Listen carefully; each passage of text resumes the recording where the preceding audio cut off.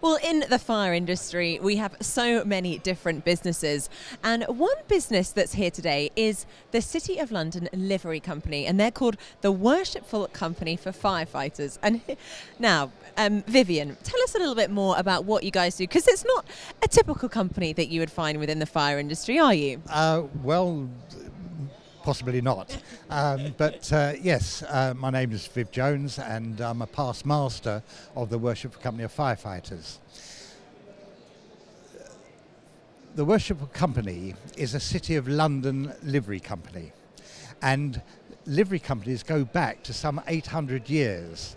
Uh, they were originally formed as uh, guilds to whether it's to protect their industry or to monitor their industry, to help the apprentices along within those industries and trades.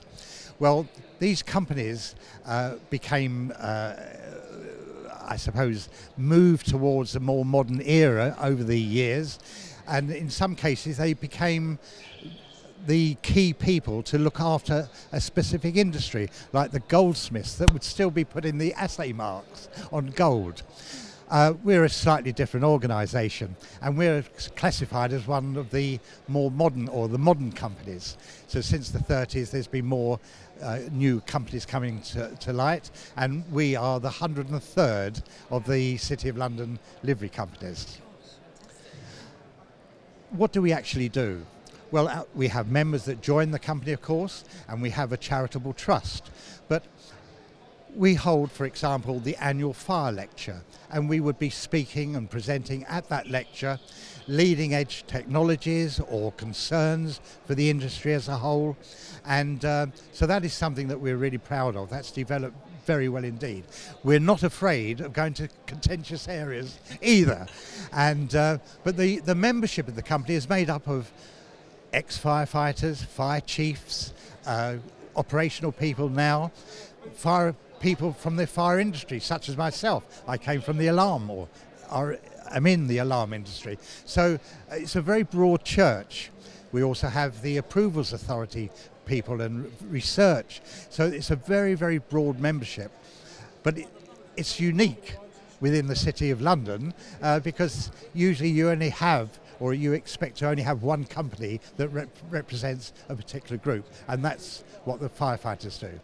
Fantastic. And you've got something rather special coming up as well, you know, as well as supporting the fire industry, you also have um, an event that you might want to tell us about. Well, we think every year is a special year.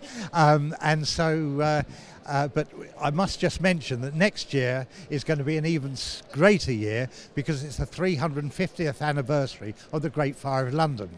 So the, London will be ablaze with uh, events. But for this year, uh, let it lead, let, let it be enough to announce uh, the 2015 annual uh, Fire Industry Charity Ball. And this is what one of the things that we organise on behalf of the fire industry, on behalf of the charitable trust of the company.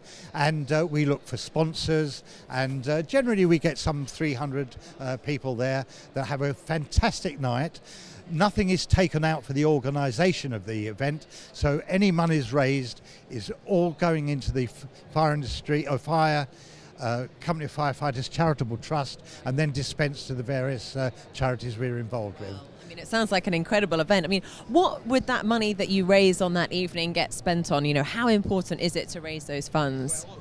Very important. If I just mention, uh, for example, uh, Raft.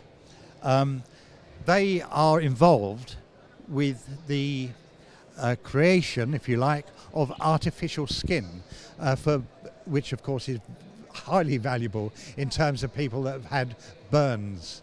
And uh, so we, we, we have been involved them, with them for many years and helped them.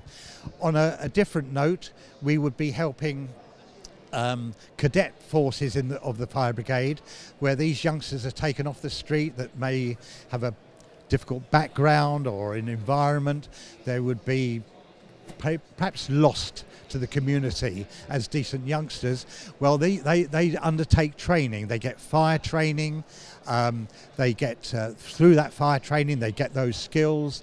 They learn the benefit of respect and giving respect, and of course, um, makes them better youngsters. which is good for the community. So we're very proud of that too.